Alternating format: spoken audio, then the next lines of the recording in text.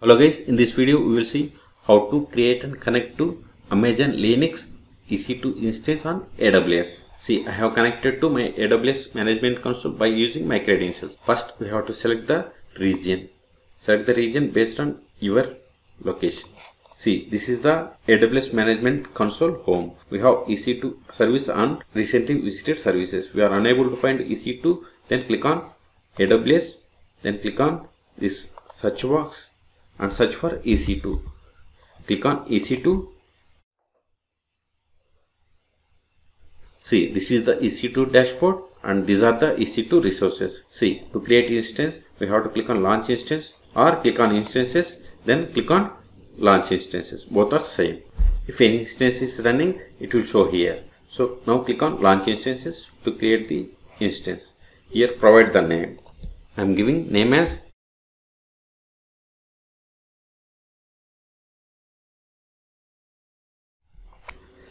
Then application and voice images that is Amazon machine image. See by default it has selected Amazon Linux. If you are unable to find you have to click on this search box and you have to search as well as click on this more AMIs and search. So once we selected Amazon Linux it has selected the first option that is it has selected the free tier eligible Amazon Linux AMI.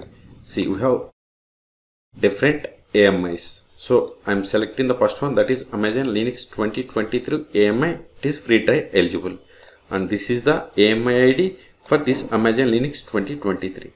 Select the architecture. I'm going with 64-bit architecture. Then instance type. Instance type is T2 micro, which means one CPU and one gigabytes memory. If you want more CPUs and memory, click on this drop down button and select. The charges will be based on the type of instance. Next key pair. Key pair is used to connect to EC2 instance. Select the from the list. We don't have key pair, so click on create new key pair. Here I am giving name as AC Linux Web App.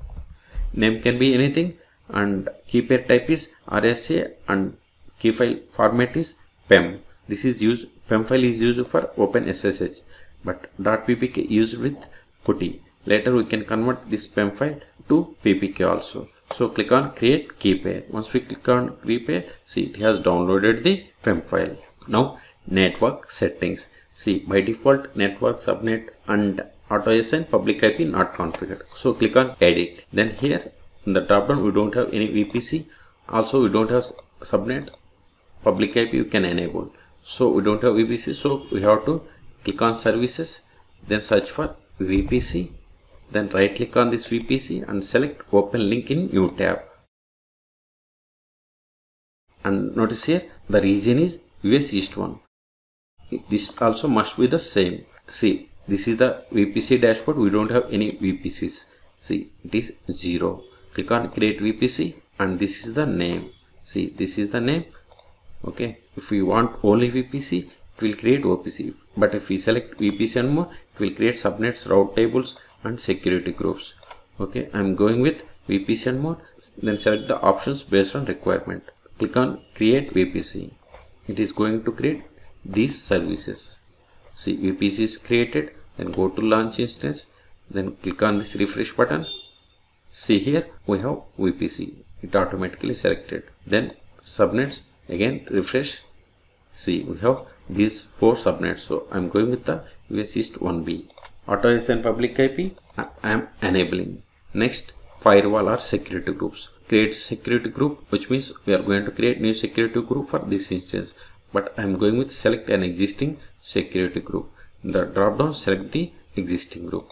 That is the this one and default one. Next configure storage. By default storage they are selected 8 GB I'm changing it to 30 gigabytes also see here the notification free tier eligible customers can get up to 30 GB of EBS general purpose SSD or magnetic storage. If you want more volume you have to click on add new volume but it is chargeable. Then advanced settings. If you want spot instances you have to check this checkbox otherwise uncheck it. If you want add or join this to domain directory you have to select from the drop down. If you don't have any domain you have to click on add new directory and add. The same way IAM instance profile I'm not going to configure these two. I'm leaving them as it is. And host name type I'm changing it to resource name then click on enable resource based IPv4 DNS requests. And remaining are the optional. I'm not going to configure this but you can configure based on the your requirement. Last option this is also optional. User data which means whatever the commands or scripts we have provided here those will be executed at the time of this amazon linux ec2 instance starts or at boot time. So this is the summary. If you want to create two instances you have to select you have to give number 2 if you want one just give one. And this is the AMI and this is the instance type and this is the firewall and this is the volume. If you are okay with all these settings just click on launch instance now go to instances. Go to ec2 dashboard. Refresh. Instances. Again refresh. Then apply. Then refresh. See instance is running. See here it is t2 micro. This is the public ipv4 dns and this is the public ip address and remaining options. Click on this instance id this is the instance information like public IP, private IP, instance state, public IPv4 DNS and host name type, auto assigned at IP address. This is okay. IAM role, we haven't assigned any IAM role and this is the subnet ID, this is the VPC ID and this is the instance details like platform, platform details, stop protection, AMI ID and other security. Here we will get the security group, network, storage, status checks, monitoring. These are the cloud watch metrics tags. We can add the tags later also. Now we will see how to connect to this amazon linux ec2 instance. Click on connect. See we have these four options to connect to this amazon linux. And this is the username this is the public ip click on this connect.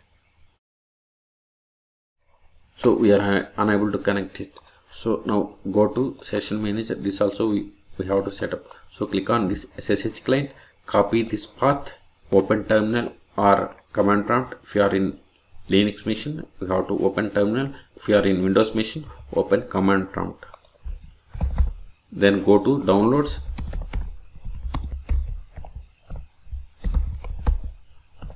Where that PEM file is downloaded.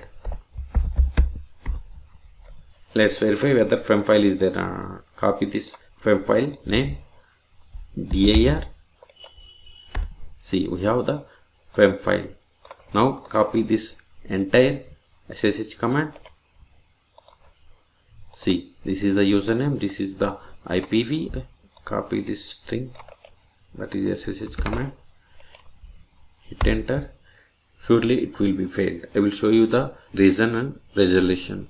We will receive the error connection timed out with the port 22. See, we have received connection timed out error. So solution is go to so go to instances click on instance id then security then click on security group which is assigned to this instance then click on this inbound rules then go to edit inbound rules then click on add rule then select ssh see when we selected ssh it has selected port range as 22 then in source we have to select my ip then click on the save rules See, we have successfully saved inbound security group. Then go to command prompt or terminal, then run the same command. Now type S for fingerprint confirmation. See, we have successfully connected to Amazon Linux. Control L to clear the screen. It is saying Amazon Linux 2023. Control L to clear the screen. Let's verify whether this is Amazon Linux or not. More slash etc OS hyphen release. See, name is Amazon Linux and it's family like Fedora. Until now we have seen how to create and connect to Amazon Linux EC2 instance on AWS. Now go to EC2 dashboard. If you want to stop or restart or terminate instance, select the instance from the list. Then select the stop or restart or terminate instance. Terminate means if you are not using instance anymore, you have to click on this terminate instance if you want to change the properties of this instance click on this actions and select the instance settings or network settings. Or if you want to change the security group you have to select this one image and templates monitor troubleshoot. It is always recommended to terminate or delete the instance if you are not using because aws charges based on the usage. Okay? So in this video we have seen how to create and connect to amazon linux ec2 instance on AWS. For more AWS or cloud or Linux videos, please subscribe my channel. Thank you.